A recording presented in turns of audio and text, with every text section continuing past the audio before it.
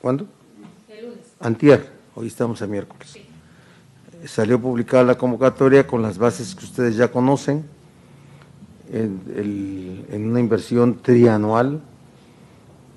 Esto es trianual 2022, lo que resta del año, 2023 y el tiempo que nos toca ejercer el gobierno hasta el 14 de diciembre, ¿verdad? De 2024. Este, y a ver, sí vamos a cancelar concesiones y sí vamos a otorgar nuevas concesiones, de acuerdo a los estudios que ya hicimos para todo el Estado.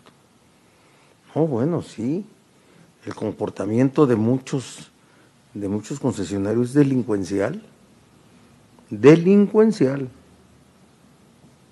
retador, desafiante, sí, no, no, no, no, no, no. A nosotros no nos va a impresionar, ¿eh?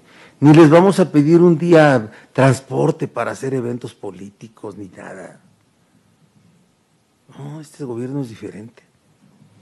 Y vamos sí a otorgar concesiones de acuerdo a estudios que se están revisando, no a los que nos heredaron, por favor, que eran parte de la corrupción que ha habido en, en todo lo que ha sido el transporte público en el estado de Puebla, ¿sí?